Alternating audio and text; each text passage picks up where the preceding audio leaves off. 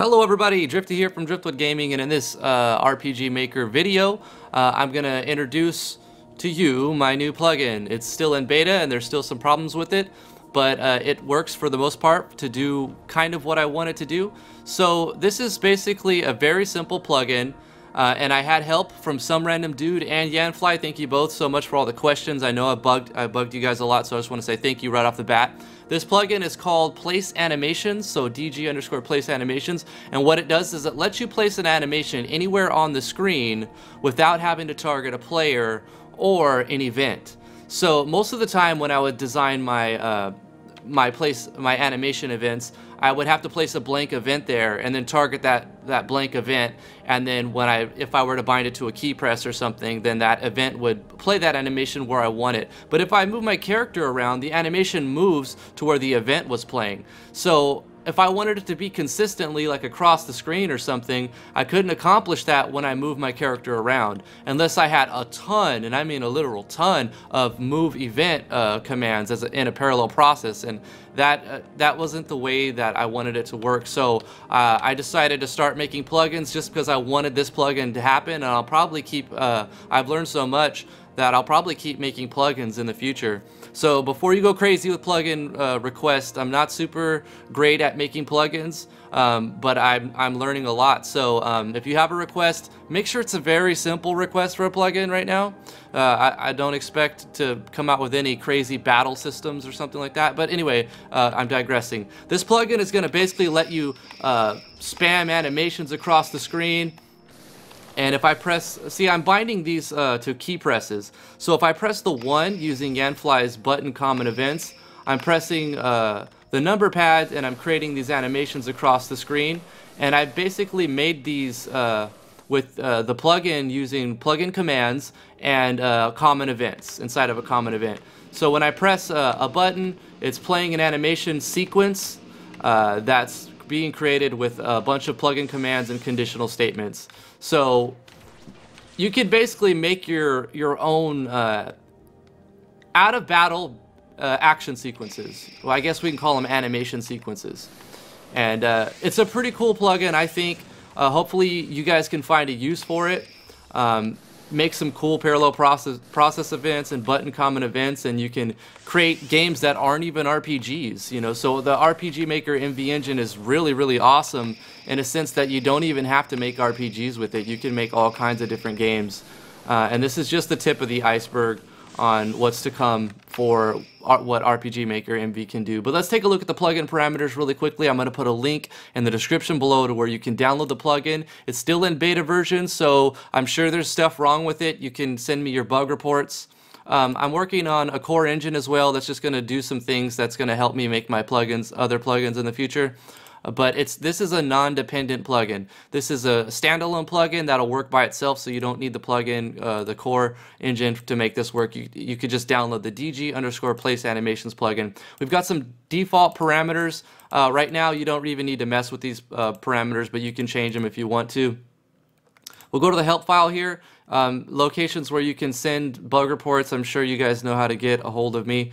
Uh, let's talk about X and Y locations because how this plugin works is uh, you go to tab 3 on a new event and you go to the bottom and there's a thing called plugin command and you use the plugin command to put in uh, the plugin command itself and the parameters, the arguments of that plugin command. So you would go to tab 3, go to the bottom, click plugin command, and then you would type in this, place anim, and you would basically it has to be capital sensitive. I mean, I could I know how to fix that and make it where it's not capital sensitive right now in the beta version. It is cap sensitive, so capital B, capital A, and you do animation number, um, and then you put the X location, the Y location, if you want the animation mirrored or not, and then the delay before the animation starts. So here's an example of uh, how you would put what you would put in the plugin command. You would do place anim, then you'd select the animation number, then you select the X location here, the Y location, 0 or 1 for if you want it mirrored or not, and then the number of frames delay you want.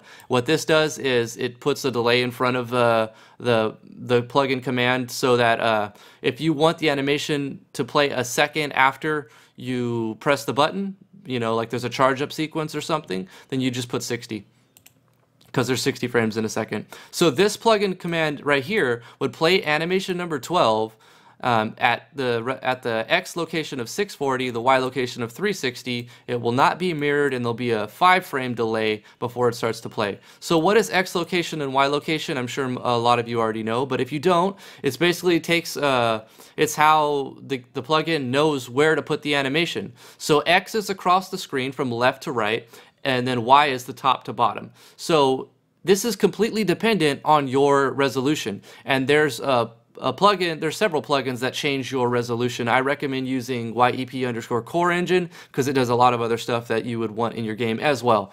So you can set your resolution to whatever you want. I put all my games in standard HD because it's just, I think in the future, most games are going to be in HD and uh, and and beyond. You know, we're getting to 4K gaming, but we're digressing. So in the top left, you've got 0, 0. That's the very top left corner, the first pixel of the screen. Where it, we're simulating that this is our, our monitor right here when our game is in full screen. So 0, 0 is the top left, and you go all the way to the right, and the top right is your X uh, your X is going to be to the end. So if my X resolution is 1280, then 1280 is in the top right. And then since we're still at the very top, it's zero. So this is 1280 by zero up here. And the center of the screen is your resolution cut in half. So if you're using like 800 by 600, then the, the middle would be 400 by 300 as a resolution. So in standard HD, 640 by 360 will be the center of the screen. The bottom left of the screen is 0, 720 since the X location is still all the way to the left, so you've got 0, and then the Y location is all the way down, 0, 720 right there. On the bottom right of the resolution, uh, of the screen is your game's resolution. So if you're using 1280 by 720, the very bottom right corner of the screen is your max resolution. In this case, standard HD, 1280 by 720. All right, so we move, uh, we've got that down. Uh, the known issues for this plugin is the wait for completion isn't implemented yet. I'm still trying to figure out how to do that. I'll probably have to recode some things in order to make uh, so that you can toggle wait for completion or not as another parameter. Uh, another thing is sprites will remain in memory until there's a scene change. A scene change means you press escape and go to your menu or you change to a different map. Um, I've tested this for 10 minutes, spamming as many animations as I can in the in the program without changing scenes uh, for 10 minutes straight, and I had no issues with it. So uh, in theory, this is this is not a good thing. You don't want your sprites to remain in memory. Um, but the, the code that I've used to dump the sprites isn't working right. Like I said, I'm still working on it but I haven't had any issues with it at all. So if you have any issues with the, the game crashing from uh, uh, while using this plugin, let me know. So if it's a problem, I can I can change the priority and, and put that and fix that.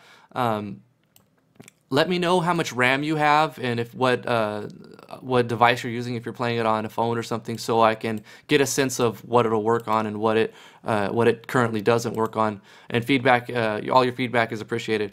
Uh, some animations that have a flash screen will only display the flash on the left hand side of the screen. I don't understand that. I'm still trying to figure that one out but uh, I know how to get around that and I'll show you how to do that. So that's it for the, the help file. Uh, the parameters, basically, all you have to do is put in whatever number you want. This is a default value. So if uh, you don't put any plugin parameters on the plugin command, it'll just use these, uh, these parameters uh, if you don't want to put any plugin uh, parameters. So an example, uh, let's go over this. I'm using Yanfly's button common events, so I'll put a link in the description below for where you can get Yanfly's button common events if you don't already have it.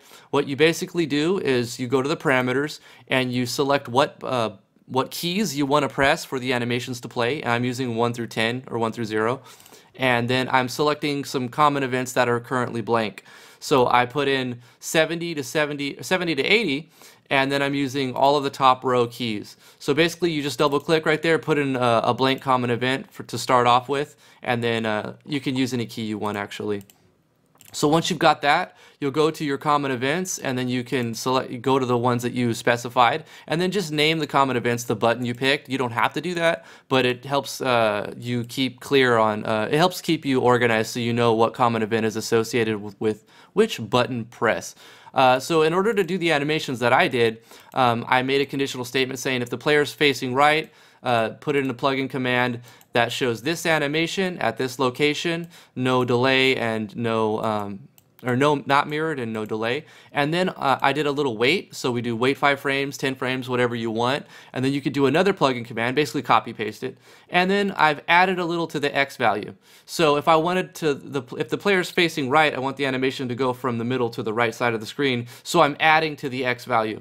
So I'm just adding a little bit to the X value and keeping everything else the same. Do another wait, copy paste that, change the X by adding a little more. Do the same thing until you get almost to your max resolution and then the animation will play boom, boom, boom, boom, boom, boom, boom, all the way across the screen to the right. Basically, you can, you can uh, do the same thing you just did there. If the player is facing left, then you'll put in the center, the first animation. So this is the same as the first one here. Then you put in your wait and copy paste that and change the x value by subtracting a little bit because now the player is facing left so we want to take away from the x value and do that all the way down till you get to about you know the beginning of your resolution 10, uh, 10 pixels. Then if the player's facing up, we're going to do a very similar thing, copy paste the first one, but then we're going to change the, the Y value this time. So 640 will be the same for when the player's facing up. What we're going to do is subtract from the Y value as we go up and keep all that the same. So as this goes down, you can see that the Y value is, is getting less and less and less. When the player's facing down, we're going to do the opposite. We're going to add to the Y value. So the first one's the same, starts in the center and then it's going to add to the y values of 415, 470, 4 or 525, all the way down to near your max resolution.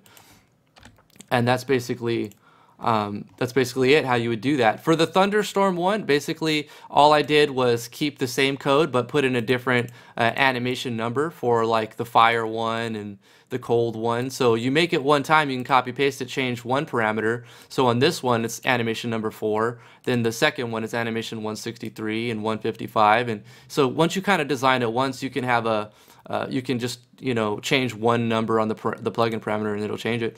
Uh, for the Thunderstorm one, uh, I did place one animation at the beginning, then a wait frames, and then I created four different animations to play at the same time. So you don't have to put a wait in between them. So you can have animations, explosions all the way across the screen at any time. Really neat little functionality. So then it plays four animations, it waits for five frames, plays four more animations, waits for five, frames again. Might actually change that to 10 frames because there's a lot's going on, but it, it works fine how it is with five. I might even change it back to five. Uh, but experiment with this plugin. Let me know uh, what you guys think. If you like this plugin, um, let me know. Give this uh, video a thumbs up, like, favorite, share, subscribe. All of that stuff is appreciated. So um, thank you guys so much for watching. Thank you guys for being awesome. Uh, let me know your special requests in the comments below. Thank you for watching. We'll see you in the next one.